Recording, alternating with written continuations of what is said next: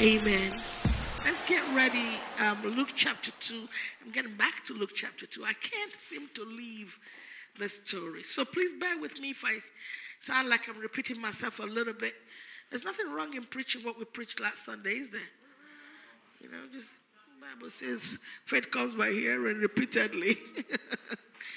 but I'm going to try and make it not a repetition, but maybe slightly. Yes, so that's Luke chapter 2. Thank you, Jesus. And we're going to read verses 8 to 17. And I'm going to crave your indulgence that we all participate in that reading. If that is okay with you, it is projected. Can we have it projected a bit bolder? Is that possible? No? Okay. Then we have to buy something that works better. Please. Can't tell me no. I hate the word no, especially when I want something. Anybody else like me here? Yes, ma'am. No? What? No. We'll make it happen. Uh, can you all read? If your eyes are not so good, then read your own. Shall we go? And there were shepherds living out in the fields nearby, keeping watch over their flocks at night.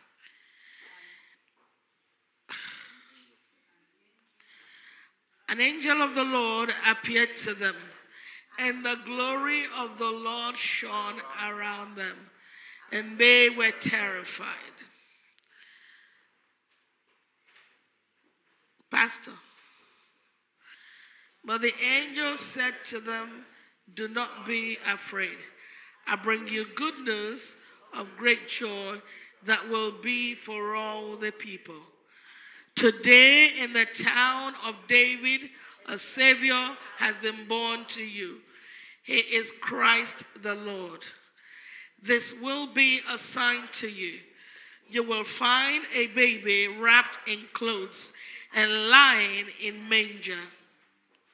Suddenly, a great company of the heavenly host appeared with the angel, praising God and saying, Glory to God in the highest, and on earth peace to men on whom his favor rests. When the angels had left them and gone into heaven, the shepherds said to one another, Let's go to Bethlehem and see this thing that has happened, which the Lord has told us. So they hurried off and found Mary and Joseph and the baby who was lying in the manger. Wow.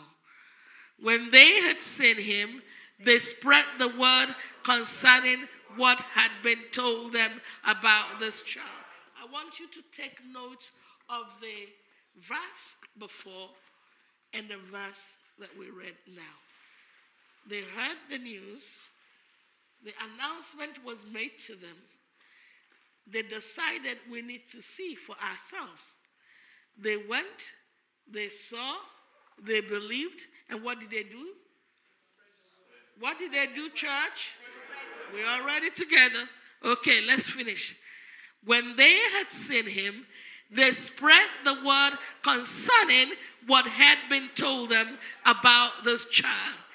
And all who heard it were amazed what the shepherds said to them. Amen. Amen. So we read it together. It's very important. One of the main things that was done in the church, the early church, when they came together, read the scripture. There were services that were devoted to just scripture reading. These are arts that we have lost in the church today. I think way before we used to have those services where we sat on the floor here, just reading scripture, one person at a time. And we read it round. We, maybe we wanted to read eight chapters of the Gospel of John, and we would read. Praise God. I believe we need to bring those days back. Amen you might find that some people have never read eight chapters of the Bible in one sitting. That will be an experience, isn't it? Amen. That's what it was in the early church. And we need to bring back those apostolic um, um, styles of doing things. Amen. So, what we see here, thank you, Jesus, for your word. Thank you. We know that you're here with us. And we have experienced, and we are experiencing your, your presence, your touch, your, in our worship, God, in, in, in the songs that we sing, sang earlier on, and in our worship. And even now, as we give you our hearts to receive your word, may we experience you in a real way. Father, may we hear what you have to say to us. Lord, what you might be saying to me may be slightly different from what you're saying to my sister or my brother. But I want to pray that each of us will hear you speak to us directly. And as we hear you, Lord, may we not just drop those words here carelessly, but may we take the word in and may we go away and act upon what we have heard. That your name may be glorified, that we may be blessed, O oh God, in Jesus' name. Amen. So, what we see here is the announcement of the birth of Jesus. The world may not have known that Jesus was being born, that the Savior of the world was born. But heavens, hallelujah, celebrated.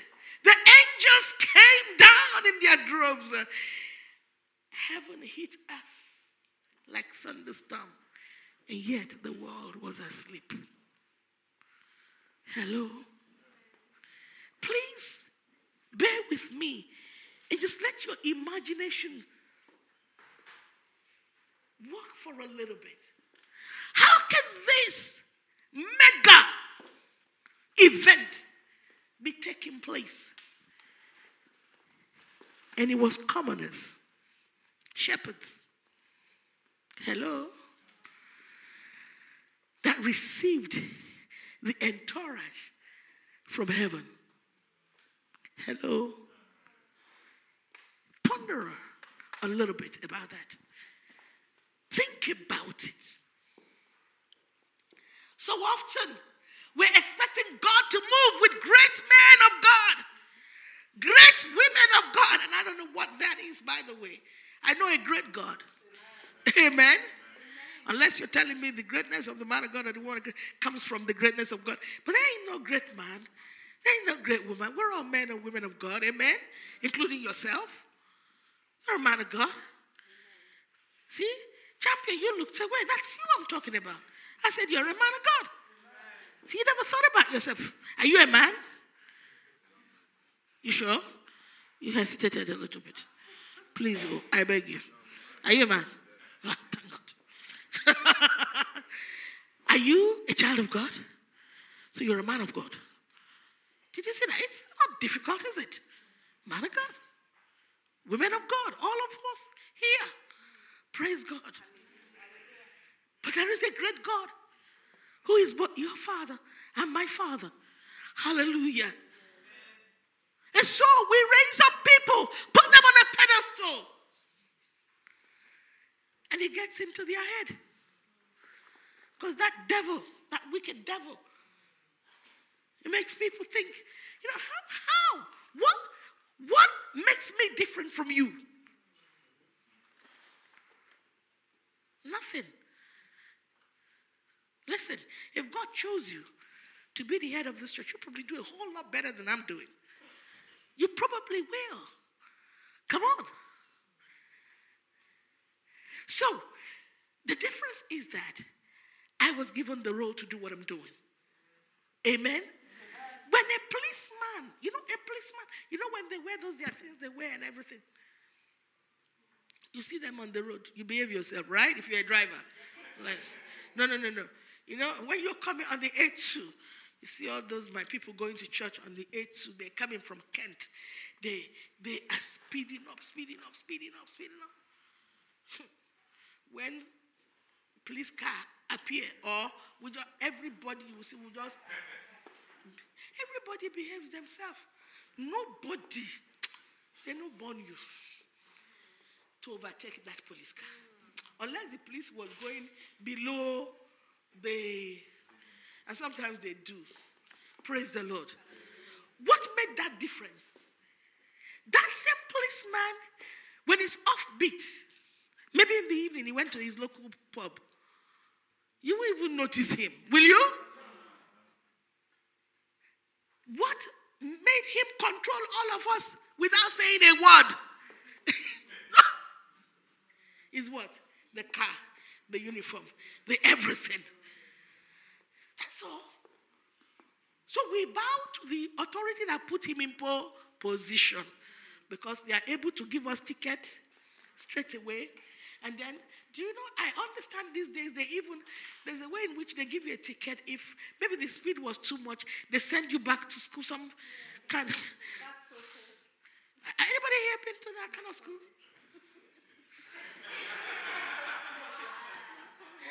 God bless you for being honest. All of you who have been and who have not put your hand up. This one says my colleague. Are you sure it wasn't you?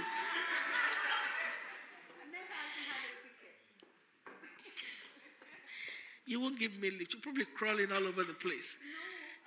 Praise the Lord. So don't boast. It's the blessing of God.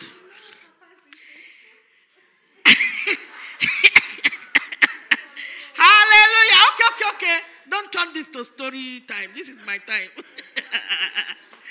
Glory to God in the highest. No, but watch what is going on here because I just stopped. I am mesmerized that the maker of the universe came to the earth and the angels came all the angels came to celebrate his birth that's their master lying in the manger oh my god Oh my God. You don't understand. I'm sure the angels are just as curious and wondering what the heck is going on here, boss. Hello? The wisdom of God by which he makes diviners mad. My king, I worship you. Oh, am I not glad that you opened my heart to receive you? Let it be, oh God, this day that you will hear our cry over our community, that men and women will come to know you in this community, oh God. Oh, the great one. You left your glory and came to this earth. When the angels, since he only found room in a manger, I think it's only right and proper that the people who will receive the glorious invitation and announcement, and very soon we're going to have our notices, isn't it? In church, we do what we call notices. How many of you listen when we are given the notices? Be honest. To truly, truly listen. Majority of you zone out. That is why sometimes when we have announced there will be no service on so so day, one day one day, Deaconess Ellen and I, we came to work. So we closed work and we were going. And we saw one of the brothers, we shall mention name. We will leave your name. Amen. and we saw him coming. He was rushing, coming from work. And he said, ah, what, you, what, what, what are you doing here? He said, oh, is there no Bible? Was it Bible study or prayer? I can't remember which one it was. And I said, were you in church on Sunday say yes. Oh, okay. You are one of those. Obviously, he zoned out during the notices. Amen.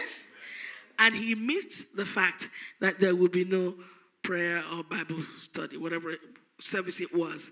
And we said, Well, welcome. You can go and have it yourself. We have closed. We've closed from work. We're going home.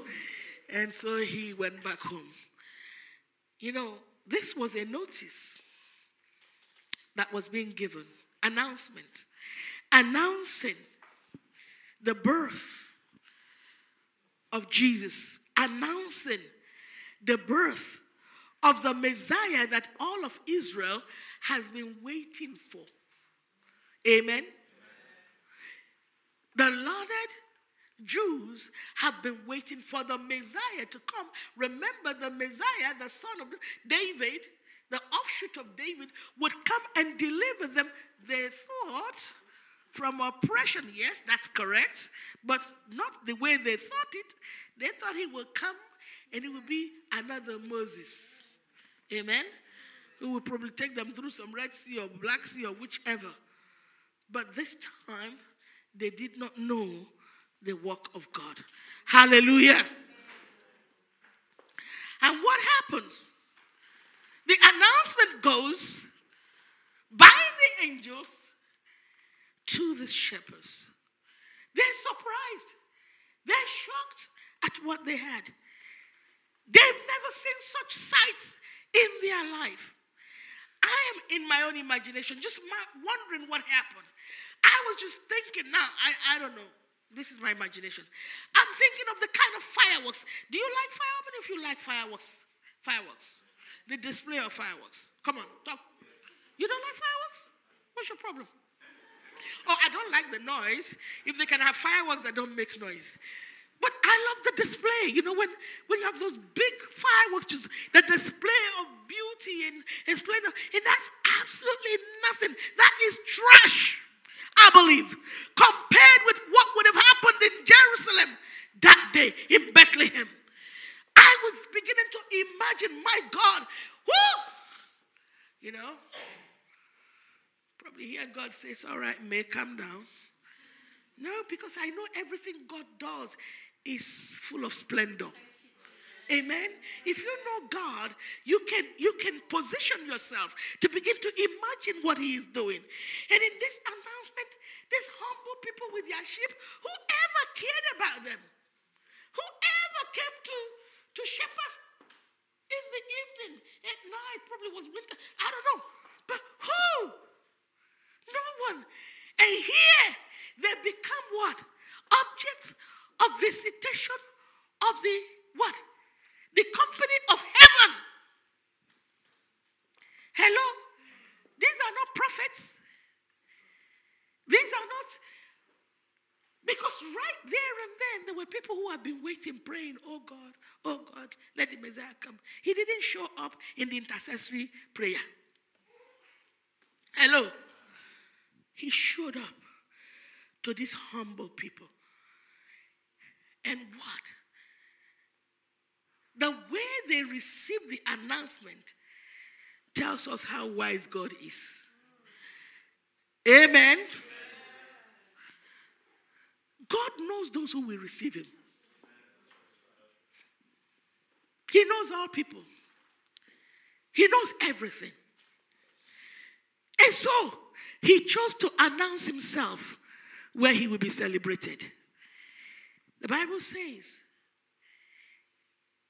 they got round, got themselves, and they decided, let us go and do what? See. Praise God. Let us go and do what? See. If you read the story of the visit of the Magi's to Herod, you know, Herod didn't say, let me go and see. Hello? And when he told those magi's, the three, the wise men, we don't know that they are three. I don't know why somebody put three. The wise men that came from the Far East. He said, Oh, you go and check. And there are people like that today who say, You go, go check that church. Go check. Well, you try this Christianity. But they are not willing, they're not interested. Praise God. And he says, if you find him, bring word so that I too can go and worship. But you and I know that he had ulterior motive. Amen. But here are these shepherds. When they heard the announcement, when they heard the song, they knew that this thing is legit. You know when something is legitimate by the way it comes. Amen. And they decided they would go. You know, Paul tells us in 1 Corinthians, in, in, in 1 Corinthians chapter 1, maybe we can even read a couple of verses there. 1 Corinthians chapter 1, if we can quickly go into that, and read verses 26 to 29. 1 Corinthians chapter 1, verses 26 to 29. Are we there? Shall we? Can, we read it together? Is that okay? All right, let's read it together. Brothers, think of what you were when you were called. Not many of you were wise by human standards. Many were influential. Not many were of noble birth. But God chose the foolish things of the world to shame the wise. God chose the weak things of the world to shame the strong. He chose the lowly things of this world and the despised things and the things that are not to nullify the things that are, so that no one may boast before him. Can you see that? I mean, of course, Paul, speaking on this occasion to the church of, of Corinth, tells us that God's choice of these people, these shepherds, God chooses who he wills. Amen. And when even God chooses us, let us not boast. That's what I was saying earlier on. What makes me different from, do you get it? Don't boast. He chooses the lowly things. Yeah, now I understand even better. So I'm lowly, that's why he chose me. I am nothing, that's why he chose me. Is that, is that not what the scripture says? So when you're chosen, know who you are. Amen. When that announcement was made, it was made personally to the shepherds. And they took the announcement personally. When the word comes out from this altar or wherever, do you take it personally? Or do you just think, oh, well, is the sermon today? Um, what was the sermon? And, and actually, you can run down the sermon from beginning to the end. But what did it do to you? Does it have any personal effect on you? We know that the notice to the shepherds had a personal impact on them. Amen? Amen? That notice, what did he say? Behold, let us go back to the text in Luke, please, chapter 2. Okay? Okay. He says, Do not be afraid, for I bring you good news of great joy that will be for all so let's stop there. He brought the news to the shepherds, but it's not just for the shepherds, is it? For who also? For all people. So we have received this good news. We have embraced the good news, but it shouldn't die with us. The good news is for all people. For those, it's universal, if I may use that word. And the fact that it's universal doesn't mean that it contradicts the fact that it is personal. It is, first of all, personal to us, and it is universal. Praise the Lord. And because it, the, word, the beauty of the Word of God, because it is universal, no, no tribe, no eh, ethnic city, ethnic, ethnic should boast. Amen. And I, and, and I really see the ignorance of people when they begin to argue that Jesus was a black man or a white. I don't care. Jesus was not a man, he's God. Hello? You know, and, and, you know, when people are locked up in such arguments, you know where they are bound. They are chicken, chickenized people.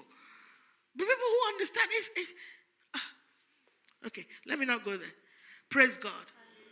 So he cuts, he cuts across all ethnic, tribe, color, race, whatever you can think about.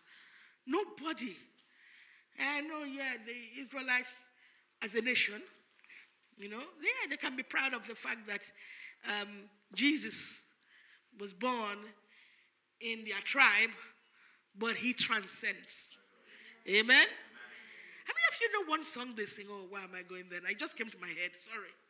You know, there's a song, I don't know who's, who, I think some Nigerian coined that song. When Jesus came down, he came first to Africa. Have you heard that song? Very diabolic, I'm telling you. No, he, he came first to Israel. No, no, no, no, no. When, when Jesus came down, he came down in Israel. When there was trouble, he, he packed up his load and went to Africa. Oh my. the first time I heard that song, I'm thinking, what a diabolical song. But it, it, makes good dancing, you know, and it makes the Africans feel good, but, you know, and I happen to be an African too. So, but, you know, there is, it's theologically false. Amen? You'll be amazed what church, what people dance to in church. You have to be very, very careful. Amen. It's all right, we can dance to that in a party, but in church, I don't know. It's theologically completely faulty. Pastor, uh, let me ask our worship pastor before I tread on his patch. Hello, Pastor. Do you agree with me? Thank, thank you. Ah. what did just say? Hallelujah. Praise the Lord. But it, it, it, it, makes for good dancing. Oh, we, we dance it in CFT, didn't we? They love it there. And we love it when they sing it. Praise God. Jesus packed his load and went to Africa. Can you imagine? So, ah, what next? Praise God. The fact that it was announced to shepherds, people who call people in lowly jobs, you know, lowly people, tells us that God reaches out to the humble. Amen. As a matter of fact, elsewhere in the Bible says he does what? He resists the proud. Amen. And he gives grace to the humble. And so we, as God's people, must be humble people. We who are chosen today, we're not chosen because you know what? You are believers. We were chosen because He helped us to believe. Amen. And that's why we must be patient with others, patient with those who do not yet know Him. Because every time you see an unbeliever do anything, just remind yourself that that's who you were, but for the grace of God. Or that's who you could have been. Yeah, when I see people who do, oh, I, I could have been mad. I could have been in the gutters, but for the grace of God. And that should work humility in us. But not just humility, that should cause us like these shepherds, to be committed to proclaiming what was proclaimed to us. The good news was brought by the angels to the shepherds. They went, they experienced, as many of us have come to the Lord Jesus, we have experienced him, and we can tell that he is. Amen. He is what? Not amen. He is Come, taste for the Lord is good. Taste and see, brother, taste and see. Come, taste and see, for the Lord